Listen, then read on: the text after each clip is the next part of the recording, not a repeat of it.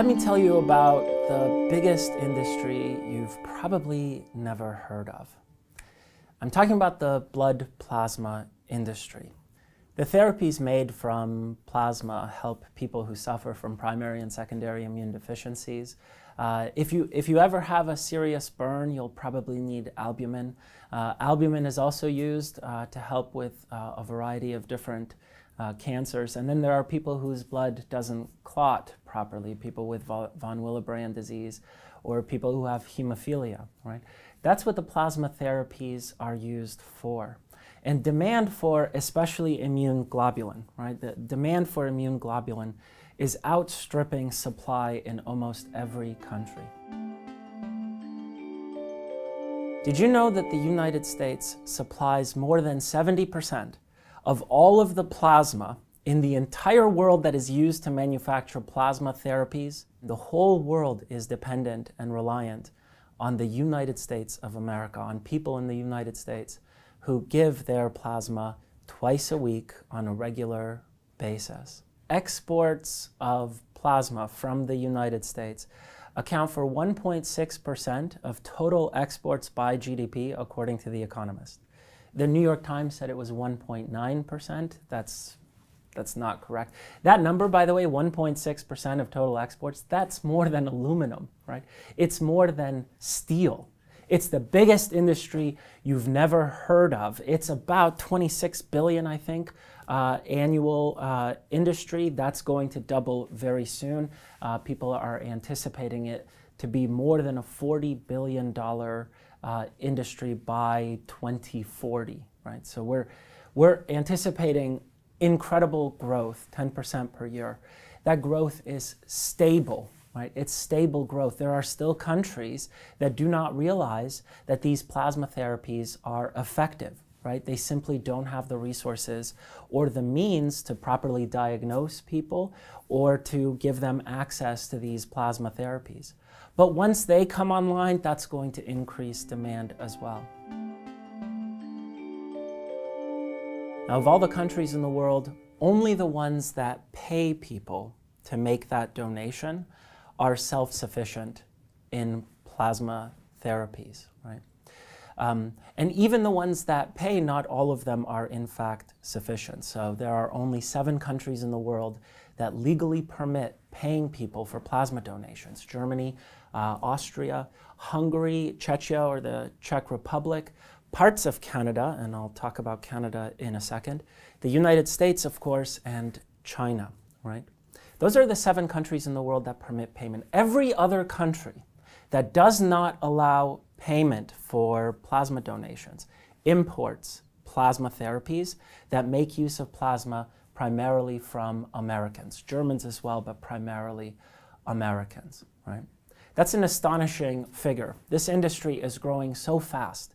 In the United States alone, the number of plasma centers has more than doubled. In fact, it's more than tripled since 2004. There are currently over 824 plasma centers in the United States of America.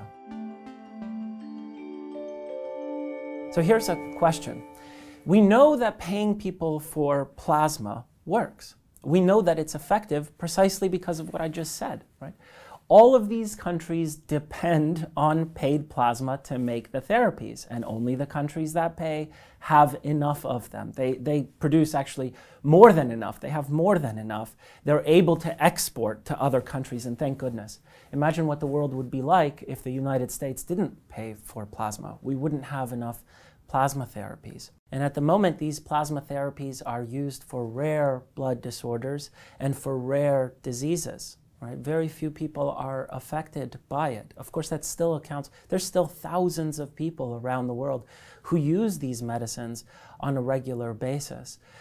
But imagine what would happen if it turns out that plasma is useful for something like Alzheimer's, is useful for something like heart disease, if it turns out that it is useful against uh, an ailment, a disease, a problem that very many people are affected by, then demand for these therapies is going to go through the roof. We need to be prepared for that. And we need to do what works, right? And what works is paying people for plasma donations.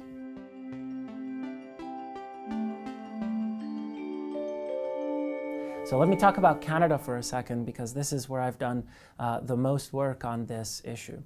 So at the moment, British Columbia, Alberta, Ontario, and Quebec, this is where more than 80% of Canada's population lives, it is illegal for a commercial enterprise to come in and pay people for plasma donation.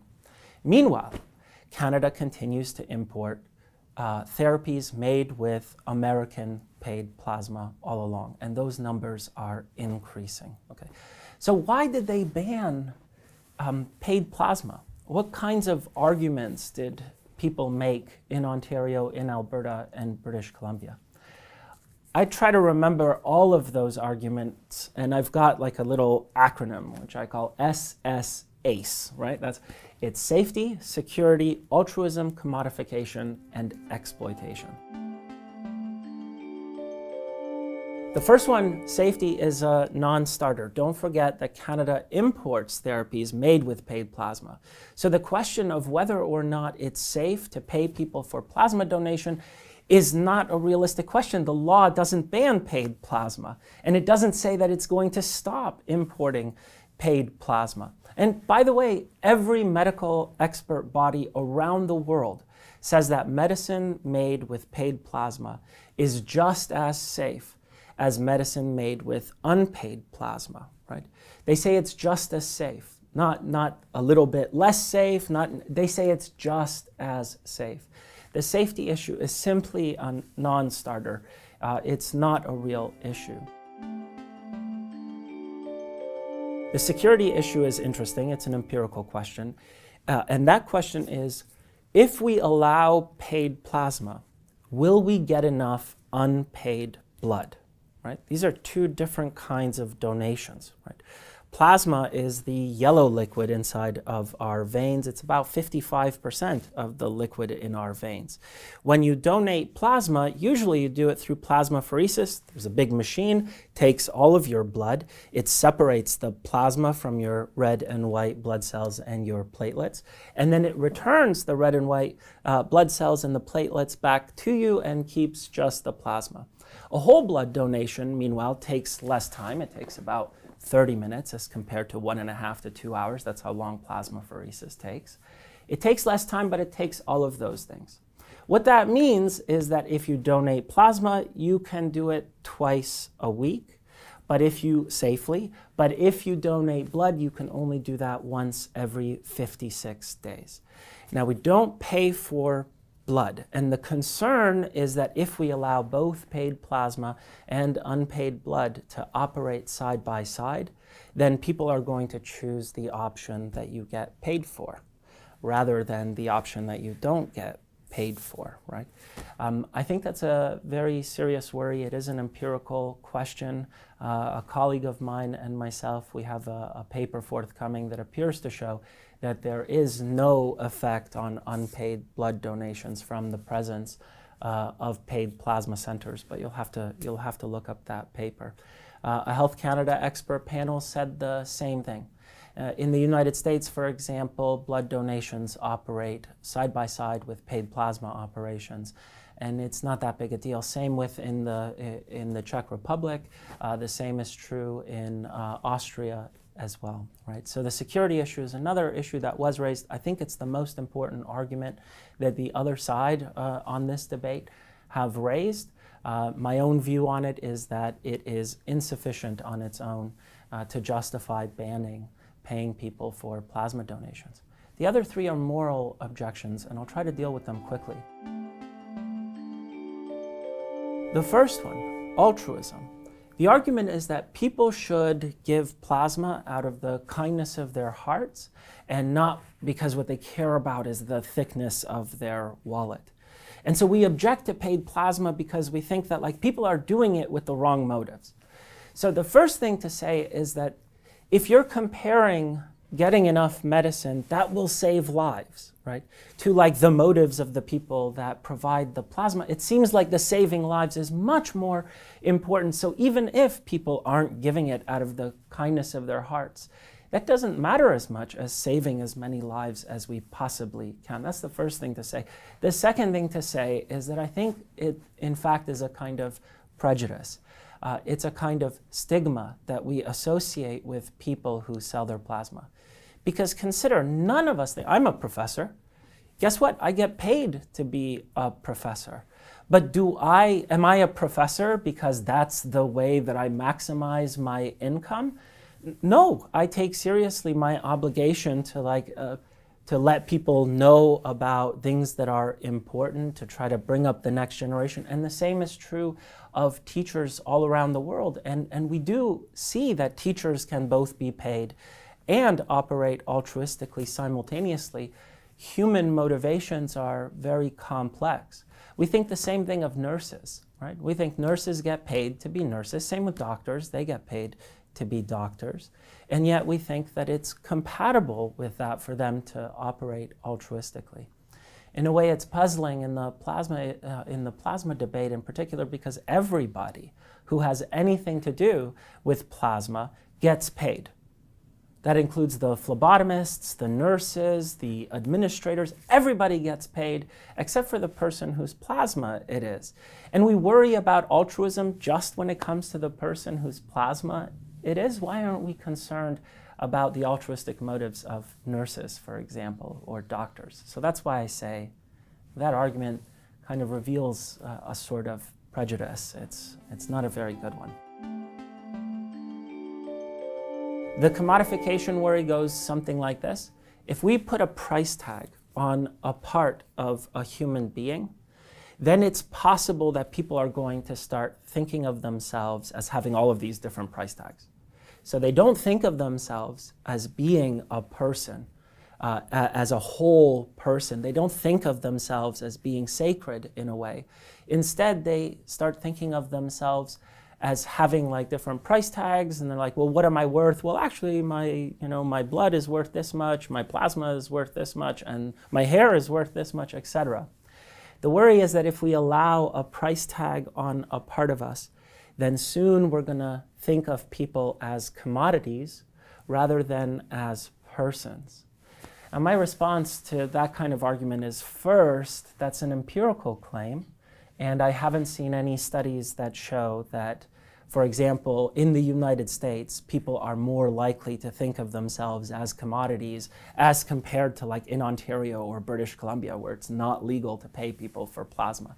I find that argument a little bit dubious, uh, barring empirical evidence. And secondly, I don't know why anybody thinks that at all. I mean, we pay for labor. Why doesn't that have the effect of commodifying persons? Why is it that if we pay for plasma, then commodification will occur, but not in all of the other standard ways, things that we constantly pay for and yet do not result in commodification?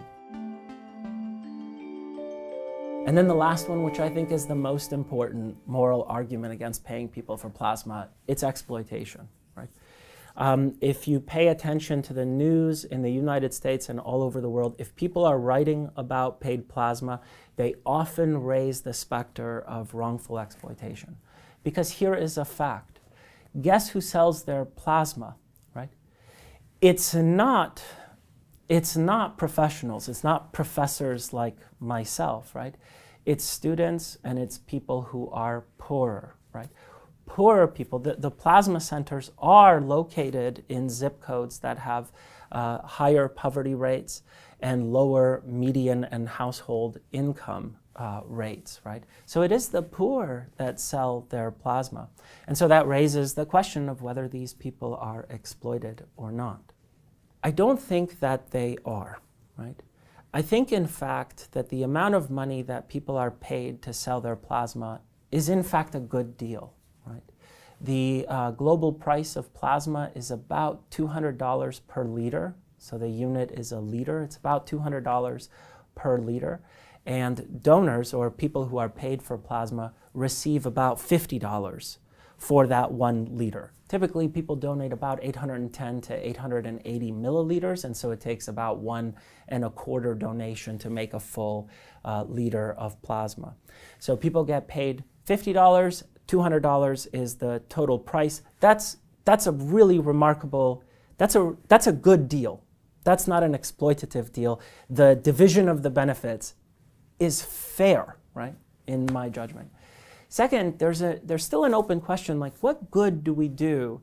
What, what has Ontario done? Ontario has said, we're not going to pay people for plasma. That didn't result in $50 in the pockets of people who need the money.